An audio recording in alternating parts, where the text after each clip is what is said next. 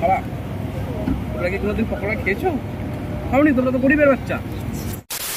আমার এই বুড়িটা আর পাতলা হতে দেবে না। হুম। কেমন লাগছে কেমন লাগছে? এক্সপ্রেশনটা যেখানটাই আমরা পনেরো টাকায় তিনটে চা খেয়ে নিই সেখানটায় আমাদেরকে এক একটা চায়ের দামই পনেরো টাকা ধরছে। Hey guys what is up কেমন আছো তোমরা সকলে? আশা করি তোমরা সকলেই ভালো আছো। আর আমার আবারও একটা ফ্রেশ নিউ ব্লগে তোমাদেরকে সকলকে স্বাগতম। আর আগের ব্লগে দেখলে আমরা বহরমপুর গিয়েছিলাম, সেখানটা কেজিএফ সিনেমা দেখলাম কেজিএফ সিনেমার টুকটাক রিভিউ দিলাম, আর তারপরে যা যা করলাম, দেখলেই। তো আমরা বাড়ির পথে এসে ভাবলাম, এখানে একটা হোটেল আছে পাপুদা ধাবা, বেশ পপুলার তো সেখানে একটা ফুড ব্লগ করে নিই, আর জেনারেল নলেজের জন্য অনেকে ফুড ব্লগের সার্চ করে। তো টুকটাক করে একটা ভিডিও করেই নিই। তো সেখানের জন্য একটা ভিডিও করে নিলাম। আর এখানে আমরা একটু কিছুক্ষণ খাব। তো চলো টেবিলে বসি, তারপরে গল্প করি। আমরা বাইরে একটা টেবিল বুক করেছি, সেই টেবিলে বসবো এবং খাব। আর বাইরে ভেতরে গেলে কিন্তু পনেরো পার্সেন্ট এক্সট্রা এসির জন্য দিতে হয়।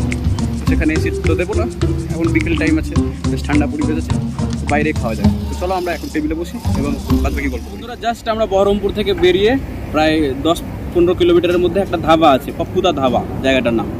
তো এই জায়গার খাবার খুব বিখ্যাত, কলকাতার যত সব লোকেরা থাকে, এখানে চাটা খাই চা, পানি খাই। এখানে আমরা টুকটাক লাঞ্চ মানে স্ন্যাক্স জাতীয় খাবারগুলো খাব বলে এখানে কিছুক্ষণ থামলাম। আর এখানে যত সব গাড়ি দেখে আইডিয়া করতে পারছ যে কত রাইডার এখানে থামে। পেছনে চার চাকা। আর এই আমাদের চারটা চা দিয়ে দিয়েছে। চারটা চায়ের দাম ধরছে তোমার এক একটা চায়ের দাম পনেরো টাকা করে পিস যেখানটাই আমরা পনেরো টাকায় তিনটে চা খেয়ে নিই, সেখানটায় আমাদেরকে এক একটা চায়ের দামই পনেরো টাকা ধরছে। আর এইদিকে আমাদের গাড়ি রাখা আছে। আর এখনও কিছু কিছু খাবার অর্ডার দিয়েছি। যেগুলো আসবে এবং আমরা জানাব। চা কেমন খেয়ে বল কেমন কি লাগছে? বল। তুই তুই আগে খা চলো বল ভালো বাস আমি চা খেয়ে দেখছি। আশিস বিদ্যার্থী মতো ও কি গরম কিন্তু চায়ের ভাতটা বেশ বড় আছে। আসছে আসছে আসছে অসাধারণ। অসাধারণ। যে দুধের যেটা সর পড়েছে কিনা এই মালাইটা না এই মালাইটা খাই না এটাকে সাইডে হবে আমি খাই। আমি ভাই গরিব মানুষ যা পয়সা দিয়ে যা কিনবো তাই খাই আমি। কাপটার কারিগরি ভালো কাপটোর কারিগরি আরে বাপরে কাপেরও কারিগরি দেখছি।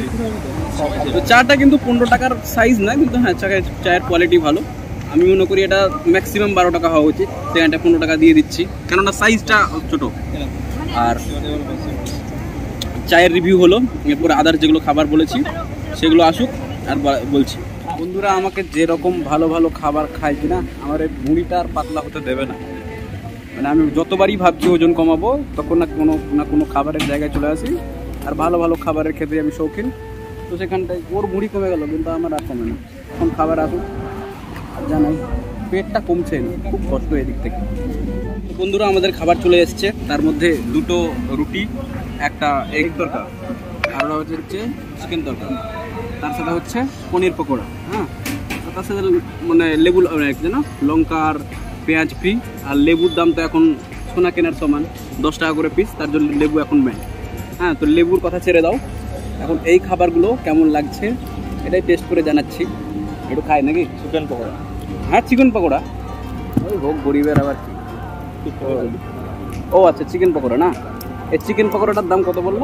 একশো ষাট। একশো ষাট করে প্লেট তার মধ্যে হ্যাঁ কোয়ান্টিটিটা বেশ ভালো। আর এটা খাই এখন। আমার মুখটা দেখতে পাওয়া যাচ্ছে না। হ্যাঁ ঠিক করে দিই। হুম বেশ গরম। কি দারুণ। ভালো। একশো ষাট টাকা করে। ভালো। আমি তো বলব দামের হিসেবে ভালো বেশ। ওইটা থেকে ভালো। হুম। ওখান থেকে না? জুলিয়ানে যেটা খেলাম। আমাদের ওখানে লোকালের থেকে অনেক ভালো। কিছু বল আমি একাই ফুড ব্লগ করব। আগে এটা খাই একটু তারপর আরেকবার বলে দিই। হুম। আসছে আসছে কি আবার? ভালোই বলে দিচ্ছি। অত ওভার অ্যাক্টিং করার দরকার নেই। বেশ ভালো। চিকেনটা একটু নরম। খুব না কিন্তু ভালো। এবার এক তরকা চার জায়গায় দিন না? এক তরকাটা দেখো কত সুন্দর হয়ে আছে। আর এটা চিকেন তরকা। চিকেন তরকাটাও কিন্তু দারুণ হয়ে আছে। আহা। এটা বোতলটা রাখ বোতলটা রাখ। আমার ট্রাইপড না নিয়ে আসা হয়নি। এখানটাতে এখন আমার ট্রাইপডে এটাই কাজ করছে। এটা খাই। রুটিটা কিন্তু শক্ত। রুটি না চাদর সেটা বোঝা যাচ্ছে না, পাতলা রুমাল একেবারে। কিন্তু এখানে আমি ভালো করে একটা একবারে নিলাম ডিম তরকা। আমাকে নিতে দেয় বড় একটু সাইজটা আহা। হুম, বেশ ভালো। বেশ ভালো। এটা বেশ ভালো লাগছে। আমাকে চিকেন তরকারি ট্রাই করতে দাও। চিকেন তরকা এরকম দুটোর মধ্যে পার্থক্য বোঝা যাচ্ছে না কারণ চিকেনেরই তো পার্থক্য। দেখতে একই কম বেশি। আর বেশি বেশি করে খাবার খাচ্ছি। যদিও পেট ফুল আছে ওভারলোডেড তারপরেও খাচ্ছি। চিকেন তরকা আহা। কেমন লাগছে বল? আসছে আসছে আসছে অসাধারণ। হুম। এটার দাম কিন্তু একশো ষাট টাকা করে। সবই ভালো আছে। দামটাও রিজনেবল প্রাইস রোডের ধারে খাবার দাবার জন্য ভালোই জায়গা।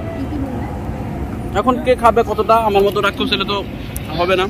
কিন্তু আজকে রাক্ষসটার পেট ভর- ভর্তি আছে বলে এরকমভাবে খেতে পারছেন না। রুটি আর লাগবে না।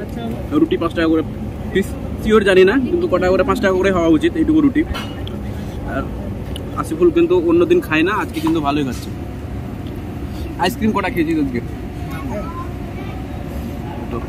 আমি চারটা। তোকে ছাড়ার পরে আরও খেয়েছি। আইসক্রিম আর এসে আর এখানে আদার্স কী কি হবে কি জানি? কিন্তু পরের বার যদি আবার কোনোদিন আসি, বলতে পারব। আর হ্যাঁ চিকেন পকোড়াটা কিন্তু ডেফিনেটলি ট্রাই করতে পারো। একশো ষাট টাকার মধ্যে আট পিস যে বড় বেশ বড় সাইজের আমি সাইজটা দেখিয়ে দিচ্ছি, এত বড় সাইজ এটা কিন্তু বেশ ভালো লাগল। আমাকে সবচেয়ে ভালো আইটেম এটাই লাগল। এবার আমাকে খেতে দাও। তারপরে আবার কোনো কথা বলব। হুম।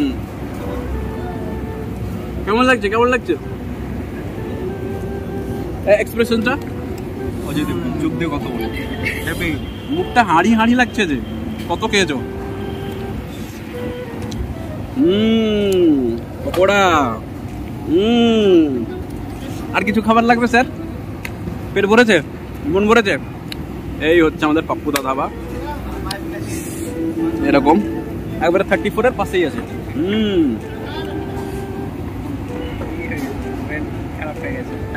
আরে সিরিয়াস আমি যে আমার গরমের দিনে খালি গাই জলই খেতে ইচ্ছে করে। কিন্তু পয়সা দিয়ে কিনেছি যেহেতু আমি তো আবার হাট চিপিয়ে খাওয়ালো। যে নষ্ট করতে পারি না পেট যদিও ভরে গেছে। এই হচ্ছে পকোড়া। পকোড়া অলমোস্ট ঠান্ডা হয়ে গিয়েছে। হালকা হালকা করে খেলাম। তুই খা তুইও খা তুই খা। রিভিউ লাগবে তো হ্যাঁ আমি না? কালকে ভিডিও করতে দিয়েছি। পেট ভরে আছে তাও টেস্ট নিতে মানে ওভার অ্যাক্টিং ভাবে রিভিউ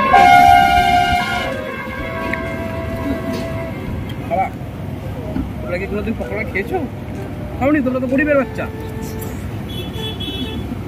হুম, ভালো, খুব ভালো।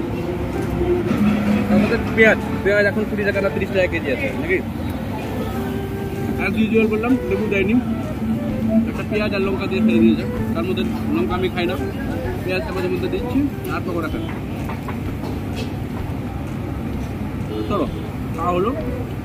বাদ তো যতগুলো জিনিস খেলাম, দেখালাম তো, আমি আবার রিপিট করতে পারছি না। আর রিপিট করলে হয়তো কোনোটা ভুল বলে দেবো। তো টোটাল পাঁচশো কুড়ি টাকা বিল হলো। স্ন্যাক্সের মধ্যে চারজনার। বেশ ভালোই কমের মধ্যে। আর হ্যাঁ পেট ভরার মতোই আছে। তার সাথে রুটি আলাদা এক্সট্রা নেওয়া হয়ে যেত। আমরা এক্সট্রা এক্সট্রা করে তরকা খেলাম। খাবার কিন্তু বেশ ভালো, আর তার জন্যই হয়তো এতদিন ধরে এত এত হোটেল থাকা সত্ত্বেও পাপ্পুদা ধাবা বেশ নাম করেছে এবং চালিয়ে যাচ্ছে। তো এই হচ্ছে লোকেশন বহরমপুর থেকে বের হয়ে মোটামুটি সাত আট কিলোমিটার পার করেই এখানে পড়বে, আর এদিক থেকে জঙ্গিপুর সাগর দিঘি, জঙ্গিপুর পার করে মানে জঙ্গিপুর সাগর দিঘি পার করে, তোমার মোটামুটি কুড়ি বাইশ কিলোমিটারের মধ্যেই এই জায়গাটা পড়বে। আমি বলব যদি কেউ আসো, অবশ্যই এখানে খাই খেয়ে যাও। আর হ্যাঁ খাবারের কোয়ালিটি আবারও বলেছি ভালো আর রিজনেবল প্রাইসে আজকের এই ব্লগটি এখানে শেষ করছি। আর ততদিনের জন্য টাটা। আবার নেক্সট ভিডিওতে দেখা হচ্ছে। খুব তাড়াতাড়ি। আর হ্যাঁ ঈদের ব্লগ আসবে। আর তোমরা কী কী রকমের ভিডিও দেখতে চাও, আবারও জানো আজকে একটা প্রথম ছোট্ট ফুড ব্লগ করে নিলাম। দেখে কেমন লাগল জানিও। ওদের জন্য টাটা।